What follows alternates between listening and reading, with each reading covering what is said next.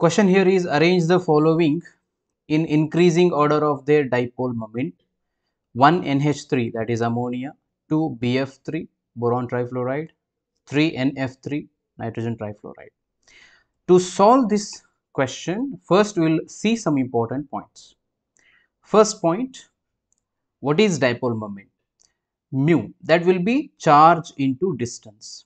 It is always only for polar molecules or only polar molecules show the dipole moment depending upon their structure again.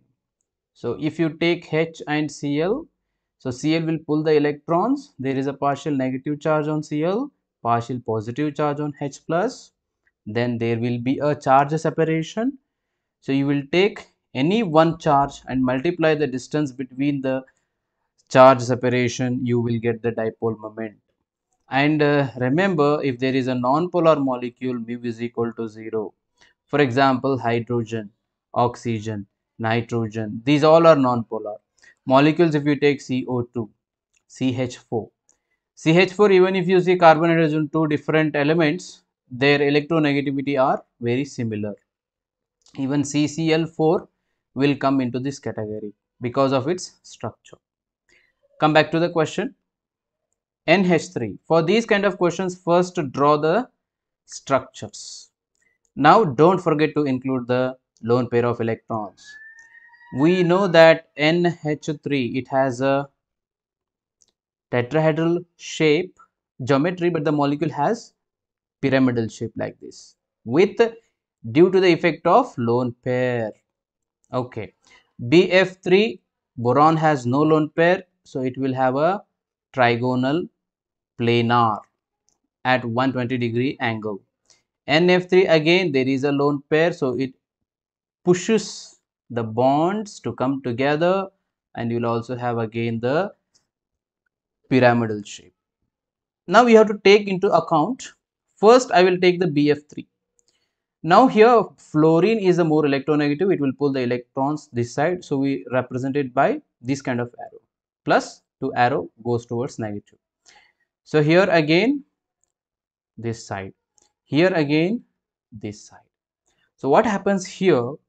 The resultant dipole moment due to this fluoron this fluorine and this fluorine will be equal to the dipole moment due to this fluorine. So if i call this fluorine as 1 and 2 this has 3 so resultant dipole moment due to fluorine number 1 and 2 will be equal to uh, dipole moment due to fluorine number 3 so overall dipole moment will be 0 because they are in opposite direction.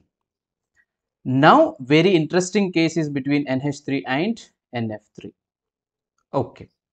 Now, you may think that because BF3 is 0, NF3 may also be 0, but you should know that there is a lone pair. And NH3 also there is a lone pair. But the difference here is N here is the most electronegative in NH3. So, the electron pull will be towards the nitrogen like this. And also there are electrons pulling this side. So overall net dipole moment will be only in one direction. Got it?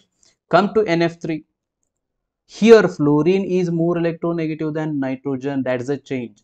So fluorine will pull this side this side and this side. And the electron pulled by the lone pair will be this side. But overall net resultant will be this side. But again there is some opposite pulling also. So because of this you can say the resultant dipole moment in ns3 is in one direction. It will be having higher dipole moment value whereas resultant dipole moment in NF3 will be less than NH3 because of the opposite direction dipole moment. So, it has low, lower mu value. So, now we can arrange in the increasing order BF3 is having the mu value smaller than NF3 which has the mu value smaller than NH3. Hope you understood the concept. We'll meet in the next class. Take care. Bye-bye.